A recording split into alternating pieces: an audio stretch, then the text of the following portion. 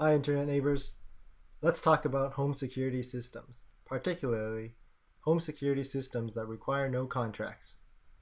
So I ended up looking at two types of systems. The first one is a do-it-yourself home security system using HomeGenie, which you run a server on a computer in your own network, and that server can run on Windows, Linux, or Mac.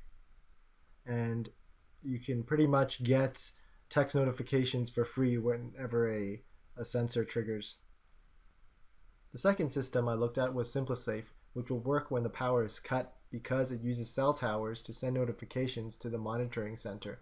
However, that requires payment. There are two choices, and if you don't want to pay, you still get the siren sound. In this video, we'll be going over the HomeGenie setup, so let's go take a look at the demo of that. In the HomeGenie dashboard, you see a bunch of widgets, and here I've set it up so that there is a door sensor for the front door, and it's right here. So this is a magnet that goes on it. So you see when I remove the magnet, you can see the uh, the uh, walking person sign, and then when it comes back on, then it goes away. So this is one thing I'll uh, show how to get set up. And um, in order to use this as a home security system, they have a security alarm system dashboard. So here I've configured it to send me a text. So let's arm the system. Say way. So now I'm gonna uh, remove this, right? And now triggers an alarm. And here is a uh, cast of my phone screen. And in a few seconds, I'll get a alert. There you go. You can see that uh, the HomeGenie security system has told me that the alarm was triggered by the front door. Now let's go and look at the hardware you need to get this set up. First thing you'll need is a Z-Wave controller uh, and this is a USB stick that you can plug into your computer. It only costs $35. Here. And the next thing you'll need is a computer to run the HomeGenie server on. So what I recommend is to use some low powered stick computer because you want this thing to be always on. And here I just have some uh, uh, made in China MeeGo pad thing, but I recommend getting something better for your system. And lastly, you're going to need the actual sensors themselves. I went with Ecolink because they were reasonably priced at around 27 or $28 per sensor. And I actually bought a couple of motion detectors, uh, this uh, door window sensors, and a tilt sensor for the garage door as well. So you can add as little or as many of these sensors to your system as you like. And I'm going to have links to all these in the show notes at efficienthacks.com slash home security. And if you like this video so far, please use the Amazon affiliate links. So here I'm at the point where I've set up the Z-Wave stick controller and I've also installed HomeGenie on a Windows 8 machine. So uh, right now what I want to do is add this tilt sensor to this HomeGenie panel. So first uh, what you're going to do is click configure, go to settings,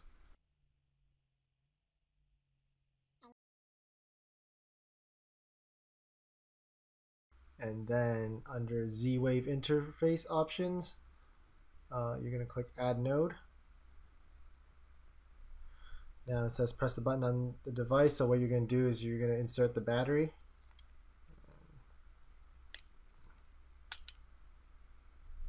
Alright, now it says node added. So now this is going to be part of our system. So let's close this. Alright, now go to your dashboard. So, okay, now on the bottom right, click on Actions and Configure Group. Now I'm going to want to add one. So actions again and add module. Now in this drop down list, we're going to see the node that we just added. Right here. Now we click add to add it to our dashboard. And we want to click this cogwheel to change the name to something recognizable. So garage. Save. Now we're gonna go home and go back to our dashboard. Okay, so you see we have a new uh, garage widget here and when I tilt the sensor here that means the garage door is open tilt back up that, is, that means it's closed. Alright, so now the last thing you have to do is hook this up to the alarm system. So what you're going to do is click on the cog wheel next to that garage widget.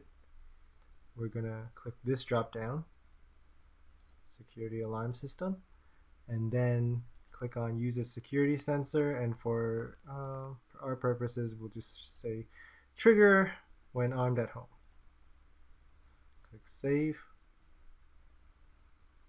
and then now you're going to configure your alarm system. So the most important option in the security alarm system is the email addresses that will be emailed when the alarms trigger. So here I've put in my uh, phone number at tmomail.net which will send me an SMS message. So what we're going to do now is arm the system and I've already placed the garage door tilt sensor onto the garage and I'm going to open the garage right now and show you um, that the alarm's going to trigger. There you go, you can see that uh, man icon in here. And let me bring up the phone.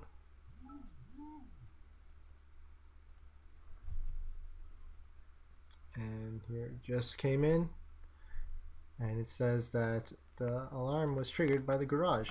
And there you have it. That's how you set up a do-it-yourself home security system. I hope you enjoyed this video and see you next time